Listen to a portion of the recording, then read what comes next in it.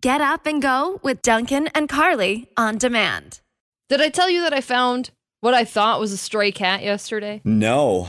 At your Yeah. house? Yeah, he was hanging out in the backyard, and all of a sudden, Matt's going to shower, and he looks out our back window and he's like, Carly, there's a cat in our backyard. What did you do? You immediately like, I was like, oh my god, there's a cat. I was like, should I go out there?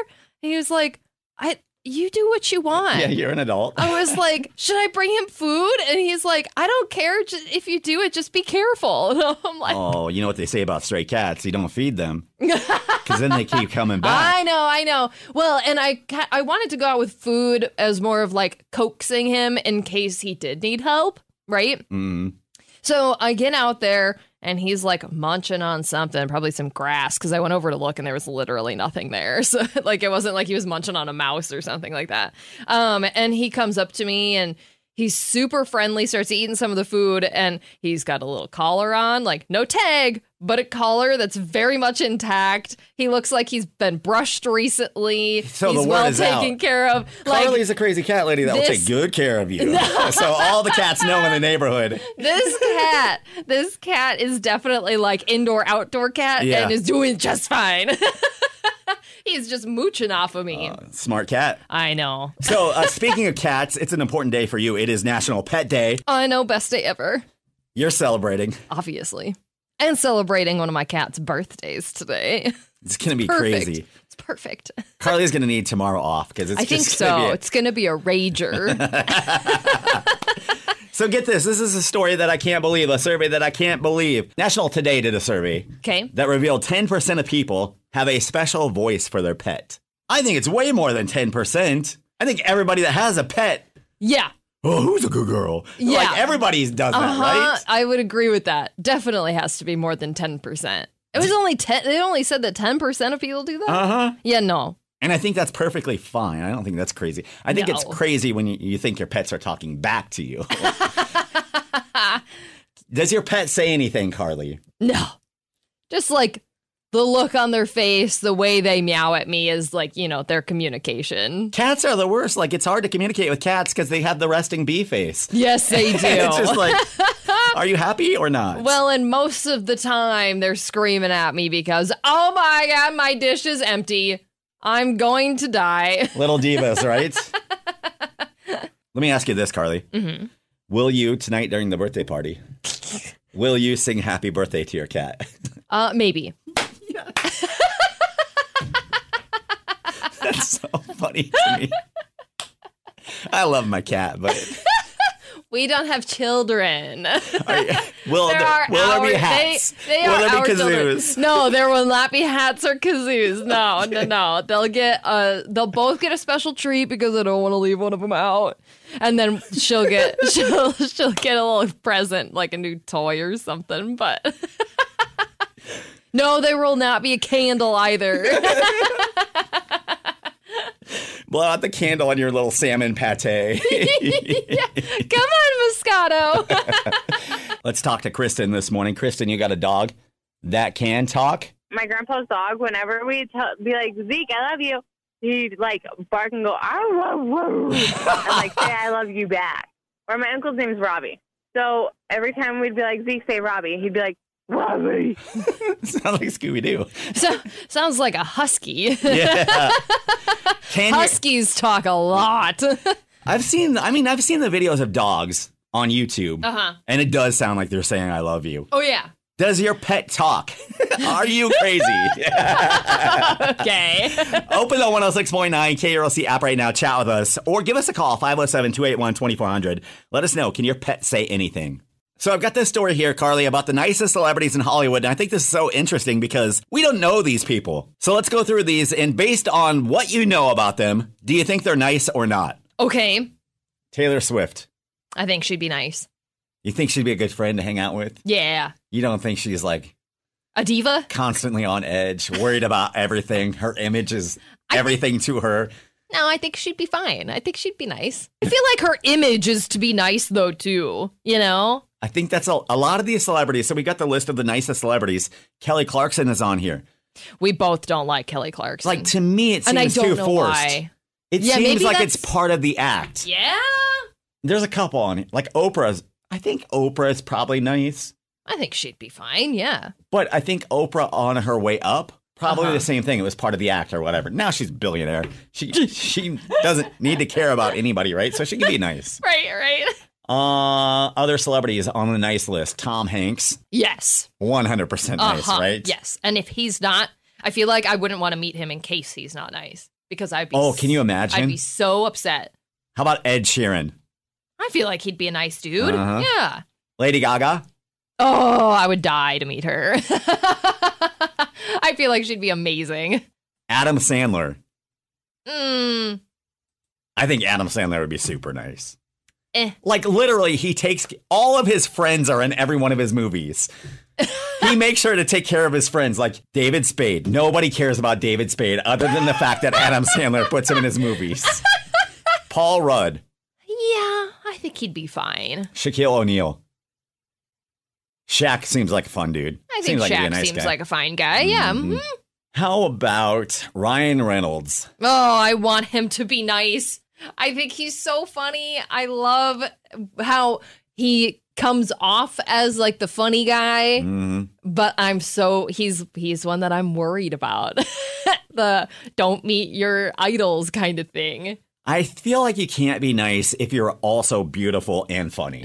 and according to all accounts, he is both beautiful and Yes, funny. yes, So I feel I like sorry, like you can't be nice too.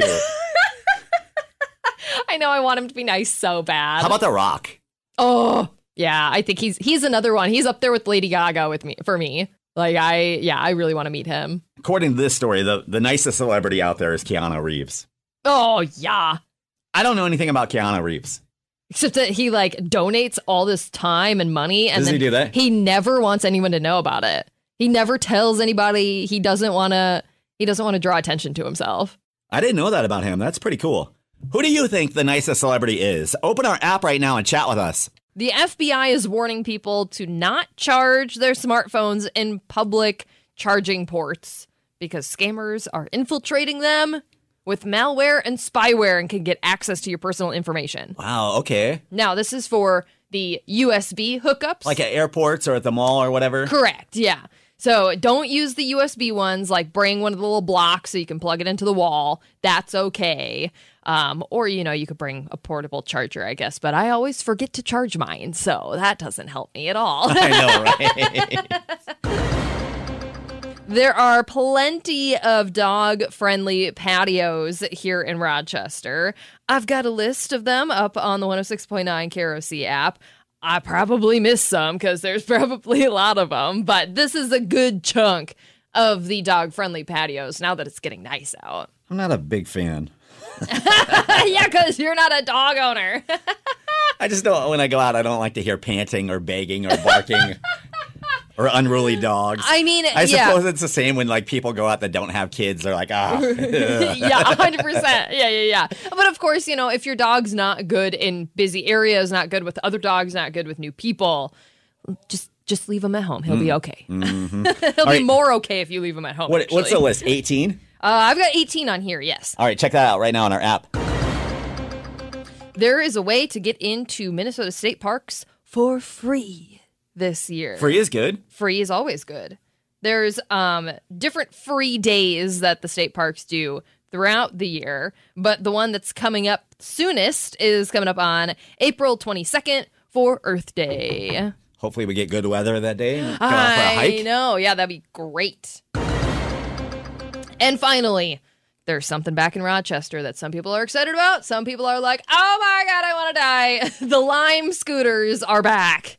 I saw them while I was driving home. They just got them lined up on the sidewalks waiting. Waiting. Waiting. They're fun. For some hooligan to come around and ride them in the street. well, that's what you're supposed to do, right? I know. Ride them in the bike lane though. Like, don't be dumb. Ride them in the bike lane. Be safe. You know. I mean, I think that's why people have a problem with it. Is Yes, because people are stupid with them. people are afraid they're going to run over somebody. yeah, hundred percent. Yeah. There you go, news or snooze for today. You can get more local news right now on the 106.9 KROC app. So, a Minnesota woman has been picked for the opportunity of a lifetime. Yeah. She gets to travel the country I'm a little jealous, which sounds really strange because I'm married, but like I'm a little jealous. This It- sounds really cool. Potentially, she could find the love of her life. Yes. So it's 50 states, 50 dates. Is that 50 dates, 50 states? Whatever. Correct, yeah. Mm-hmm. However you say it. And it's on TikTok. It's a TikTok bachelor show. Yeah. Yeah. And it sound because it's much smaller than like The Bachelor, for example, Mm-hmm. it sounds actually legit. You know, you're not gonna get a bunch of yahoos or try who are trying to get fame like The Bachelor's turned into. How does it work? Who is paying for this? So, okay, so first of all, the Minnesotan who has been selected, her name is Olivia, Okay. and she um, was selected out of 1,200 applicants to be the new like lead of the series. She'll be going on a road trip across the country with the creator of the show, um, doing a date. Here, get in my van. Like, that's weird. Well, they have a 50 dates, 50 states like truck Okay. that they'll be taking on on the trip. But they'll be driving around to every state except for Hawaii and Alaska, of course. And she'll be going on like a full day date with whoever has been selected. There So they arrive Tuesday. She goes out with Jeff all day. right. There explores the city, goes on a date, and lunch, she- activity, and dinner planned for each date. And, And- if things go well, I what think- happens? Does she say, okay, enough. I don't want to go to any more states. I love Jeff. That I don't know. That I don't know. Okay. But I'm assuming you have to go on all of the dates because otherwise there goes the theme. You know. How quick do how quick do they bounce from state to state? Is it like she's going to be doing, let's see, I think that said that she's going to be doing 8 dates every month. okay? So, she's already done the Hawaii one actually because she was Oh, heck already yeah, let's pick that she one was- first in the She was already on a trip with her family there and so they were like, "Well, let's just do it." Uh-huh. So, obviously no details on how that went yet because that has not come out on TikTok yet, but um So eight dates a month. 8 dates a month. That's about four days per state. So she's going to be completing this in about 6 months. Most of the time is going to be spent traveling. Right. Yeah. Mm-hmm. And there were a whole bunch of guys who applied to court Olivia. Okay.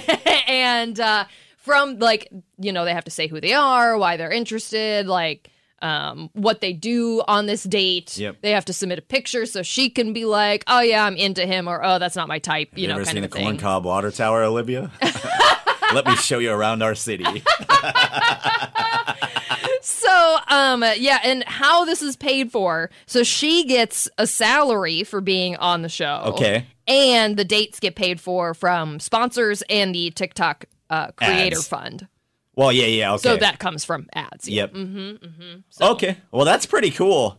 And she graduated from the University of Nebraska Lincoln. Which so. is the coolest part about it. I noticed when I saw the picture. You I'm saw like, the picture, yeah, you were like, Cool "Oh big my God, she's a Husker," and I'm like, Sorry, "Oh Olivia, Lord. I'm taken. it could have been magic. All right, if you want to check out more about Olivia, you can read her story on our app. Duncan and Carly, weekday mornings on 106.9 KROC.